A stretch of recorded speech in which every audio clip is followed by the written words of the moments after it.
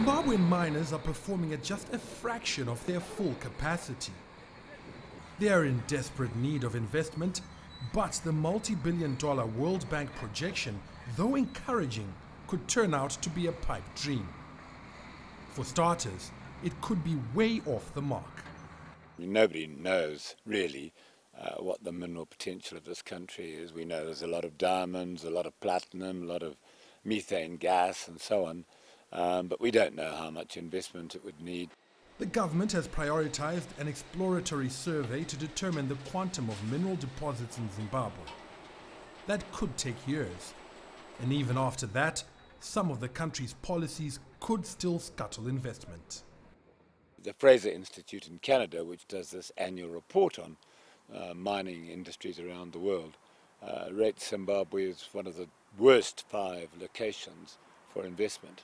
And um, until that changes, we're not going to see investment. And of course, indigenization, I suppose, is the major deterrent to new investment. Players in the sector are currently crying foul over high taxes and royalties, which they say threaten their viability in the face of falling global mineral prices. Previously, Zimbabwe, over many decades, for mining had a very low tax regime, 15%, and had no royalties. And that was no accident.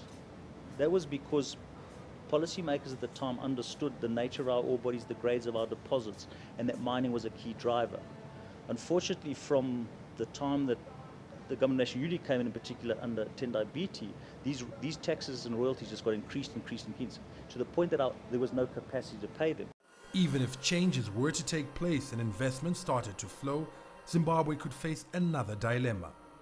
What to use the money for? Currently, there's a push towards mineral beneficiation, which has seen local platinum companies forced to table plans to set up a refinery locally.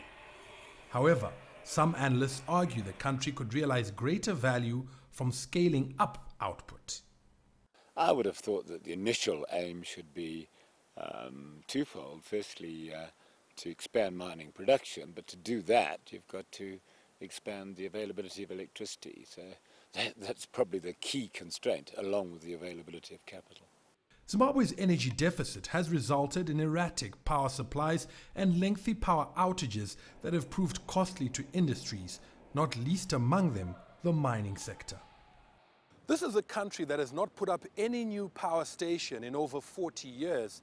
There are plans currently underway to refurbish and upgrade existing power stations to increase the availability of electricity but it still may not be enough to feed the mining sector so it can get to 100% capacity.